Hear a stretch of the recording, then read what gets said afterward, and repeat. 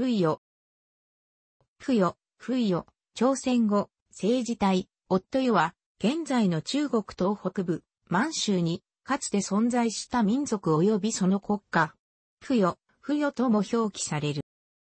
不与が建国する以前のこの地には、Y 族が住んでいたと思われ、松花江上流の弱水、伊織両水、玄へしゃげ、林川を、渡河南進して、不与を建国する以前の喜びか古城、Y 城、周囲約800メートル、前漢初期には、存在、黒竜交渉品券も発見されている。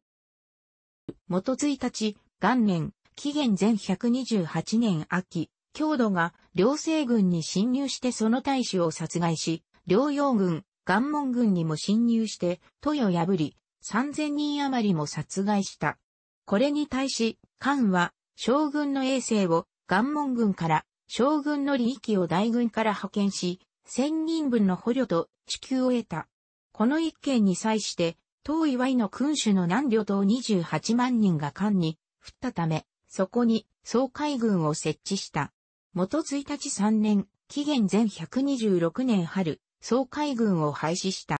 論考吉元編に次のような記述がある。昔、北緯に李国があった。国王が次女を妊娠させてしまったので、殺そうとした。次女は以前、空にあった鳥の卵のような霊気が私に降りてきて、身ごもりましたと言い、王は騙された。その後、彼女は男子を産んだ。王が命じて豚小屋の中に放置させたが、豚が息を吹きかけたので、死ななかった。次に馬小屋に移させると、馬もまた息を吹きかけた。それを、王は、神の仕業だと考え、母に引き取って養わせ、東明と名付けた。東明は、長鶴と馬に乗り意味を得ること巧みで、凶暴だったため、王は東明が自分の国を奪うのを恐れ、再び殺そうとした。東明は国を逃れ、南へ走り西塩水にやってきて、弓で川の水面を打つと、魚やすっぽんが浮かび上がり、乗ることができた。そうして東明は、不与の地に至り、王となった。という記述がある。また、義書や三国式には、高栗の子祖子毛も、不与の出身であり、州を率いて、不与から東南に向かって逃れ、建国した話が載っている。三国式や三国維持には、海夫郎が治めていたが後に太陽神の海ボスが持ってきたので海夫郎は東に退去して別の国、東、不与を建てたという。神話には、後に偉大な自責を残す人物が、卵から生まれるという南方系神話に、共通の卵生神話と、生まれの不遇を持った鬼人が、動物の助けを得て乗り越えるという騎手流理端の共通の要素が見られる。試験国元年、9年秋、王毛が神を立てると異民族に対する別紙政策を取ったため、周辺諸国は離反し、不与も離反した。建武年間、25年から56年、東夷諸国が五冠に来庁し、中国に宝物を献上するようになった。建武25年、49年10月、不要が剣士を送って徴工したので、三竹帝はこれを厚くもてなした。安定の永初5年、111年3月、不要は、保木七から8000人を率いて、玄都軍を、阿田省市民を殺傷したが、間もなく再び寄付した。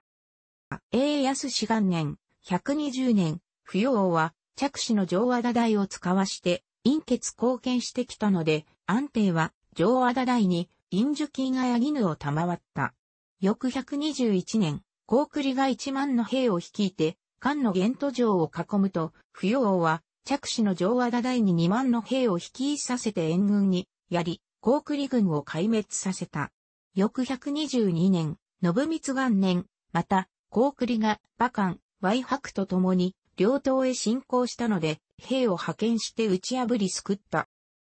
順帝の英は元年、136年、不要は、慶氏、落葉に来庁した。官邸の延期4年、161年、不与の剣士が、長賀貢献。栄光元年、167年、不要の夫代は2万4人を率いて、玄都軍を侵略したが、ゲント大衆の高尊によって撃破され、千余名が斬首された。霊帝の期平成3年、174年、不与は再び作報国として、貢ぎ物を献じた。不与はもともと、玄都軍に属していたが、検定、在位、189年から220年の時代に、不与の上和田大が、両党軍に属したいと申し出たため、両党軍に属した。この時期は、玄都軍にしろ、両党軍にしろ、高孫氏の支配下になっており、東夷諸国は、高孫氏に付属した。地に高栗と戦費が強情だったので、高孫度は、その二虜の間にある不与と同盟を組み、高孫氏の僧女、高孫度の娘とも妹とも言うをもって、上和田大の日とした。義の紀発元年、220年、不与が義に長行した際、その君主は、不与前宇と呼ばれた。上和田大が死ぬと、官位居が立った。官位居には、敵士がいなかったが、この朝余りという者がいた。位が死ぬと、初夏、初大臣は、共に朝余りを立てた。牛か、牛か、官名の兄の子である位は大使、大使、官名となり、前世を敷いたため、国人はこれにつき、年々中国に剣士を送って徴工した。聖史年間、240年から249年、優秀志士の9件は高栗を討伐し、玄都大主の王旗を付与に使わした。大使の位は大化、大化、官名を使わして、王旗らを郊外で出迎えさせるとともに、軍領を備えた。次に、吉地、叔父の牛科に二心があったため、位破吉地不死を殺して、財産を没収して帳簿に記録し、死者を派遣してその帳簿を官に送った。朝余りが死ぬと、まだ6歳であるこの医療が立って王になった。不要の王院には、和王の印と刻まれており、国内には、和城という名の古城があることから、もともとは、和族の地であったことがわかる。武帝、在位、265年から290年の時代、冬国は頻繁に精神へ徴工した。大野康6年、285年、戦費母用部の母用に襲撃され、王の医療が自殺、指定は要素に亡命した。そこで武帝は、不要救援する御事の利を出したが、森遠い行為の先鋭が従わなかったため、彼を罷免して南岸をこれに変えた。明年、286年、不要後王のイランが剣士を送って南岸に救援を求めてきので、南岸は特有のカチンを使わして兵を送り、今の遼寧省、海原氏に冬国を再建させた。カチンは母用と戦い、これを大敗させると、不与の力母用部を追い出すことに成功し、イラを復刻させることができた。しかしその後も、母用は、不与に侵入してはその民衆を捕まえて、中国に売りさばいた。そのため武帝は、不与人奴隷を買い戻させ、司州、紀州では、不与人奴隷の売買を禁止させた。はじめ不与は鹿山に住んでいたが、クララの侵入にあって部落が衰え散ったので、西の前園の近くに移住した。東進の A は2年、346年正月、前園の母用は、着男の母用春と、母用務村七千機に、不要撃させた。不要の元王と、部落5万人余りが捕虜として連行されたが、不要の元王は、陳軍将軍を拝命し、母用の娘をめとることができた。冬国は、北義の時代まで存在し、タイは18年、494年に、木吉に滅ぼされた。不与族の病営、北不与は豆暴露国と称して東大まで続いた。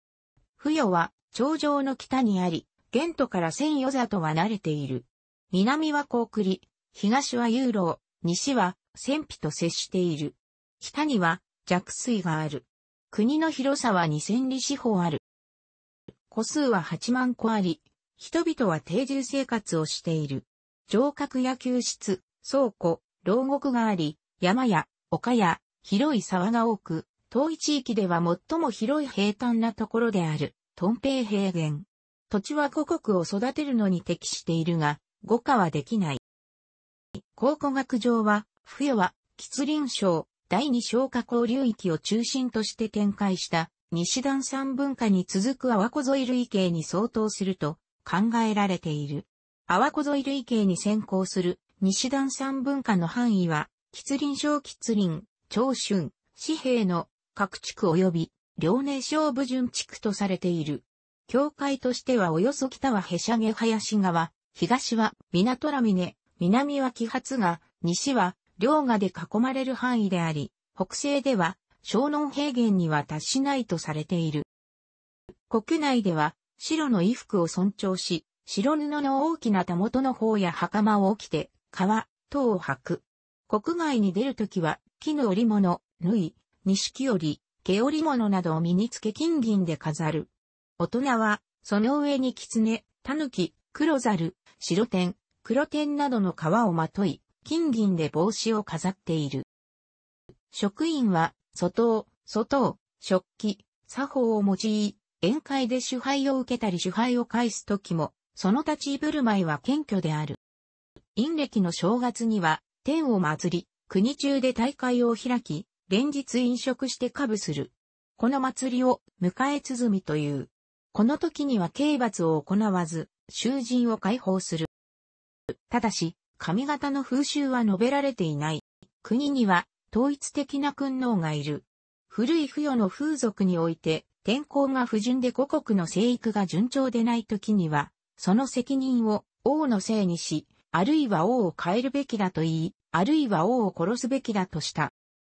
官職の名称は、すべて六地区の名で呼んでおり、幕割、牛化、著化、犬化の書家があり、書家は、それぞれ読んで道を守り、勢力の大きなものは、数千家、勢力の小さなものは、数百家を支配していた。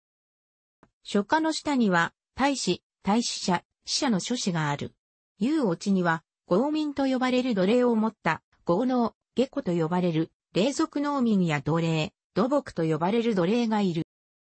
付与の制御は主に農業であり、遺跡では、早い時代の層からも大量の鉄製農具が見つかるなど、農業技術や器具は、同時代の東恵比寿の中で最も発達していた。また、金銀を豊富に産出する土地であり、金属を糸状に加工して飾り付けるなど、金銀の加工に関しては非常に高い水準だったとされる。宝石に関しても養蚕が営まれ絹や縫い、綾絹など様々な種類の絹織物が作られたほか、朝織物や毛織物が作られ東恵比寿の中で最も発達していたとされる。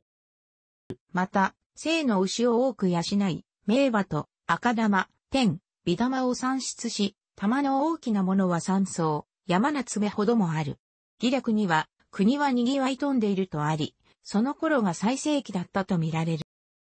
弓や刀、矛を兵器としている。家々には自分たちの鎧や刀剣類を所蔵している。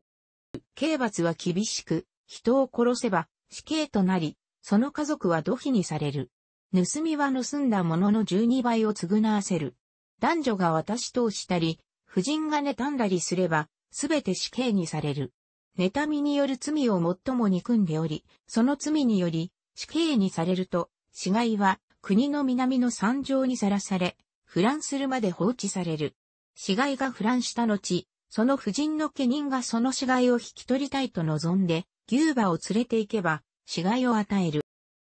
兄が死んだ場合、兄嫁を弟が妻とする。これは、郷土と同じ種族、レビラトコンである。有力者が死ぬと、下記であれば皆氷を用い、人を殺して殉葬する。多い時には、殉葬者が数百人に達する。死者を構想し、遺体を収める棺があるが核はない。また、モニテーすること5月、久し式をもって、栄えとする。その亡くなった者を祀るのに、生と熟句がある。もしは速やかなるを欲せずして他人がこれを強制し、常にいさかいびきして、これを不死とする。男女は皆純白の喪服を着用し、婦人は布面衣、布製のベールを着用し、肝肺、腰につける感情の玉をさらす。これらのことは大体中国と似ている。人々は体格が非常に大きく、性格は勇敢で、慎み深く親切であり、あまり他国へは侵略しない。通訳が言葉を伝えるとき、皆ひざまずいて、両手を地につけ、小声で話をする。戦争を始めるときは天を祭り、牛を殺してその蹄を見て、海戦の吉凶を占う。ひめが開いていれば、今日、ひめが合わさっていれば、基地である。戦争になれば、初夏は進んで戦う。下戸は食料を担いで、初夏に従い、初夏は下戸の担う食料を飲食する。中国の司書によると、付与の言語は、高栗と同じとされ、要素と Y もほぼ同じとされる。一方、東のユーロは独特の言語を使っていたとされ、付与の言語と異なると記される。ここで二つの言語系統が存在することがわかるが、付与語、付与書語が現在のどの系統に属すのかについては、古くから論争があり、現在に至ってもよくわかっていない。付与系騎馬民族が南朝鮮を支配し、その後弁官から日本列島に入り、大和朝廷の前身になったとする仮説を江上波夫が提唱したが、今日ではほとんど否定されている。楽しくご覧になりましたら、購読と良いです。クリックしてください。